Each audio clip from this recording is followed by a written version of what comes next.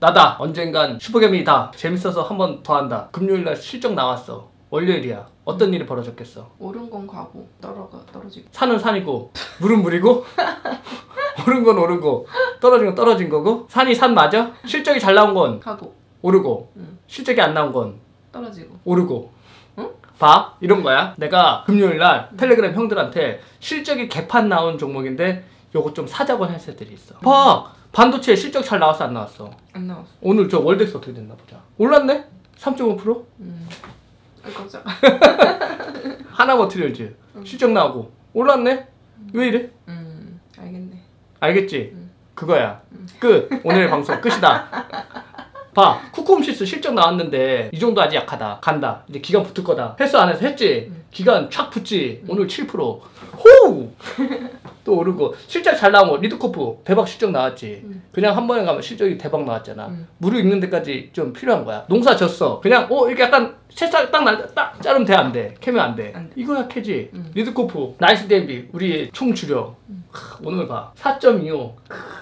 사람들 지금 막 사잖아. 우리는 어떻게 해? 조금 까. 좀 까. 아, 다 알려준다. 내가 사실은 이거 방송 보는 사람들이 전업 투자들 중에 좀 잘하는 고수들이 있어. 내 방송을 봐. 음. 보면서 진짜 짜증날 거야. 아, 저 새끼 언제 방송하나, 저 새끼. 다 알려주네. 이게 약간 그런 거야. 악마 조합 있지, 악마들. 악마들끼리 조합이 있는데, 인간 세상에 내려가가지고, 다 까는 거야. 거기서 다 까는 거야. 저 새끼만 죽으면, 저 새끼만 없애지면, 다 까네. 거꾸로잖아. 보통 어때? 잘 나왔으면 사야 되잖아. 근데 거기다 까고 있네? 안 나왔으면 팔아야 되잖아. 거기다 사고 있네?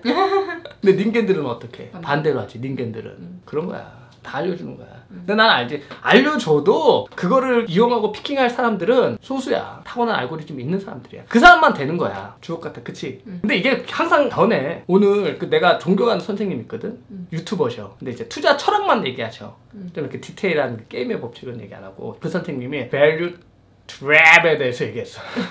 value trap에 대해서 얘기를 했어. 근데 나는 이 선생님 이야기에 동의는 하는데 동의 안 하는 부분이 있어. 이 선생님은 우리나라가 value trap인 이유 자기가 외국인들 투자들한테 한국 주식이 싸다 수익에 비해서 주가가 낮으니 사는 게 어떻겠니 얘기했더니 외국인들이 뭐라고 얘기를 했냐 value trap 이라고 얘기를 했대. 음. 이게 뭔 뜻이냐? 음. 싼데 안 사요. 싼데 왜 안 사? value trap이라는 거는 가격은 저렴하지만 계속 그 저가에 머무르는 상태야. 덫이잖아. 음. 가격의 덫. 가격 때문에 딱 샀는데 거기에 갇혀. 지금 이거 방송 보는 사람들 value trap에 갇혀가지고 개고통 받는 사람들 많아. 특히 전업들은 지금 뭐 거의 진짜 너무 힘들지. 오죽하면 그 사람들이 바이오 막 사서 매매하겠어. 거기는 no value trap이니까. 그럼 뭘 때문일까? 그 선생님 이야기는 한국 주식이 주식이 인기가 없고 보통 사람들이 별로 개인들이 안 좋아하고 음. 그리고 뭐 투명성, 지배 구조 그런 거를 말씀하시더라고. 나는 이 부분이 동의하지 않는. 이 부분이 있다. 그게 크다. 근데 주가 대형주를 국민들이 만들어? 개미들이 이렇게 해가지고 그거 만들어? 음. 아니야. 외인들이야 외인들. 뭐 한 종목이 뭐 다 달려들으면 그렇게 되겠지.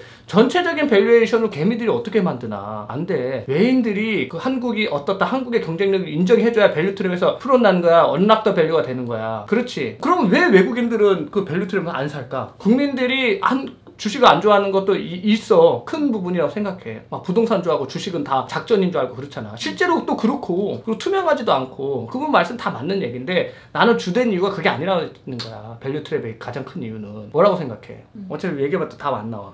내가 외국인이야. 나도 한국 주식에 대해서 사는 게 좀 후순이야. 그러니까 너무 싸서 사는 건 있지만, 성장성에 대한 거는 안 친단 말이야. 주식은 지금 가격이 저렴한 게 중요해? 뭐가 중요해? 미래가 앞으로 음. 앞으로 얼마나 성장할지가 중요해. 근데 지금 어떤 상황이야? 한국의 기업들이 안 좋아. 안 좋아. 왜 안 좋아? 정책 때문에. 외국 기업보다 한국에 있는 기업들은 세금 부담 더, 더 내. 그치? 다른 나라 다 감세했지. 우리나라 세금 안 냈지. 자, 세금. 그럼 value 깎아줘야 될 거 아니야. 임금 높아. 경쟁력 대비 비, 높아. 다른 나라는 더 싸. 음. 그럼 임금. 오, 주 52시간. 대출 규제.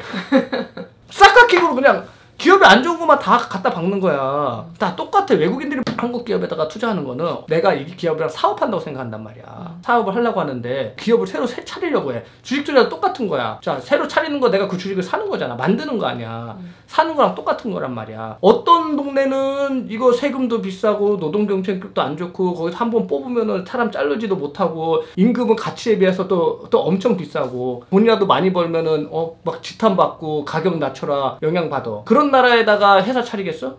아니. 아니 지. 규제 없는 나라에 차리지. 음. value trap이라는 얘기를 나는 2015년까지는 들어본 적이 없어. 근데 20년 동안 주식하면서 value trap이라는 얘기 들어본 적이 없다고. 음. 그럼 그때는 왜 없었을까? 2013년도에 누구 나 value trap이라는 얘기 한 번도 들어본 적도 없다 나는. 투자하면서. 아 우리 value trap에 갇혔어. 뭐 이런 없어. 한국 주식이 그만큼 가치를 받았어. 레포트 올라오면 해외 자동차, 뭐 우리나라 자동차, 뭐 뭐 해외 IT 기업, 우리나라 IT 기업 하가지고 그 뭐 소니는 PER 몇 배, 우리나라 뭐 PER 몇 배 이걸 막 하잖아, 보잖아. 우리나라가 그렇게 저평가 받는 나라가 아니었어 예전에는. 지금은 왜 평가 받냐? 왜 뭐가 바뀌었어? 예전에는 국민들이 한국 주식, 주식 그랬어? 아니었어 그때도 절대 아니야. 개미들은 아무 상관 없어. 그 외인들이 판을 깔고 이게 가면은 거기에 이제 반응하는 그냥 닌겐들이라고. 무슨 개인들이 뭘 해. 그런 건 없어. 되지도 않아. 조그마한 종목 상한가 가잖아. 그걸 갖다 개인들이 이렇게 울셔해서 만들 수 있을 것 같아? 절대 안 되는 거야. 불가능한 얘기야. 그렇게 될 수가 없어요. 그래서 주도하는 힘이 있어야 그게 되는 거야. 우리나라의 주식은 주도하는 힘이 외인이야. 외인들이 쫙 들어와서 어 너네는 퍼 이 정도 받아도 돼. 하면은 거기를 기점으로 갖다가 이게 박스를 만들면서 그게 되는 거라고. 가격이 결정이 되는 거라고. 주도 힘 제일 센 사람이. 그렇지. 거기 제일 큰 형들인데 밑에 개미들이 우리 삼성전자 퍼 15배 받아야 돼요. 씨알도 안 먹히지. 그렇게 해서 우리가 우리는 15 받아야 돼. 해가지고 뭐 올려놔. 그럼 어떻게 하겠어? 외인들이 까! 주지 않는 거야. 이거 주 이거. 엄청 많잖아. 그럼 까면 어떻게 떨어지겠지? 음. 퍼 내려가겠지. 그럼 그때 또 다 사. 주도하는 거기다 선물 옵션 기법까지 넣잖아. 그게 주된 이유야. 한국의 기업들 보잖아. 내가 봐. 내가 외국인 입장에 나 똑같잖아. 외국인이나 나나 똑같단 말이야. 투자하는 방식은 똑같대. 보잖아. 내수주들이 정말 막 반토막 나고 그렇게 떨어졌어. 예를 들면 동원 F&B만 봐도 엄청나게 떨어졌어. 기업들 봐봐. 판매비, 관리비 얼마나 늘었나 봐봐. 매출은 느는 거 한계가 있어. 지금 내수주들 다. 유통주들 왜 이렇게 막 PBR 0.5 under로 막 꼬라박고 그래. 예전에는 그랬어? 예전에 안 그랬는데? 예전에 왜 value trap 없다고 왜 갑자기 생겼어, value trap? EPS가 꺾였으니까 그러지. EPS가 살아있으면 그게 없는 거야. 왜 바이오에는 value trap이 없어? 인건비. 그렇지. 바이오는 판매 관리비랑 상관이 전혀 없잖아. 꿈과 희망만 남아 있잖아. 그러니까 나, 도 내가 올 초에 방법 뭐라 그랬어? 야 제조업 나 버린다. 내수주들 내가 버린다. 막 싸면 들어갔다가 올까빠서 한번 하겠다 했잖아. 꿈과 희망 주식으로 갔잖아. 우리 최근에 봐 오로라 오늘도 올랐네. 꿈과 희망으로 몰린다니까. 올해 그래서 뭐 들고 있었어 우리 막 엔터주, SM 라이프 그런 거 들고 있었잖아. 왜 그런 거 들고 있냐? 이게 말도 안 되는데 내수주 막 시- 음식료주는 PER 10 이하에서 막 놀고 있는데 거기다 확고한 프랜차이즈 value도 가지고 있고 그 제품만 막 먹고 해. 그런데도 그거 안 사고 왜 왜 엔터주 사냐고 머리에다가 총 맞아서 그것 때문에 그래요. 뭐 때문에 기업의 경쟁력을 깎는 환경 때문에 돈을 거기 돈이 안 몰리는 거야. 풀어줘봐. 노동정책 풀고, 세금 감세하고, 대출 규제 풀고, 부동산 규제 풀어봐. 내수 활성화 돼봐. 그냥 날라가 내수주들 여기서. 따블은 그냥 올라가는 거야. 그건 내가 보증할게. 내가 보증할게. 정말 이건 내가 그렇게 돼. 그렇게 풀면은, 풀기만 하면 그냥 날라가. 근데 나는 내가 이 선생님 존경하거든? 내 선생님 얘기에 동의하는 부분이 있어. 어떤 부분 좋았냐면, unlock the value 될 거다.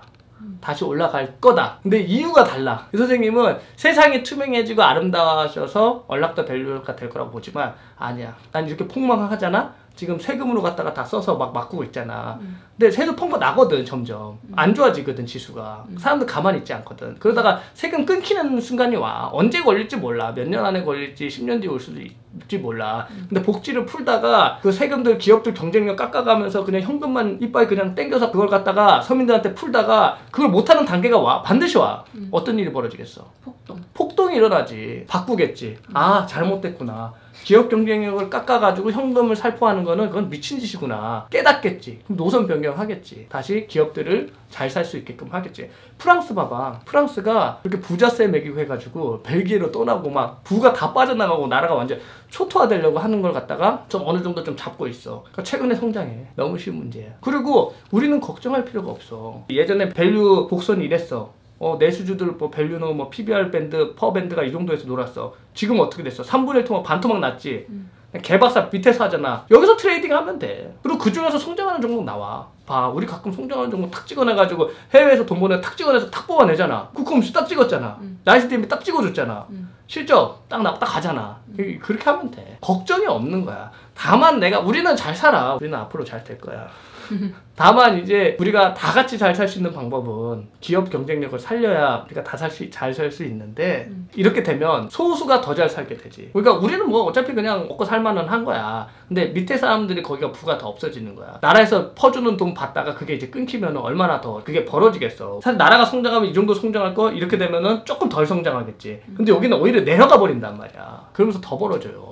그게 안타까운 거지 뭐. 이건희 선생님이 이렇게 말씀하셨어. 기업은 그냥 냅두면 된다. 삼성이 뭐 부정한 방법으로 거기까지 올라갔어. 정말 수많은 그 임원들과 연구진들이 그 해가지고 그 올라간 거야. 그리고 나라를 먹여 살리고 있는 거고.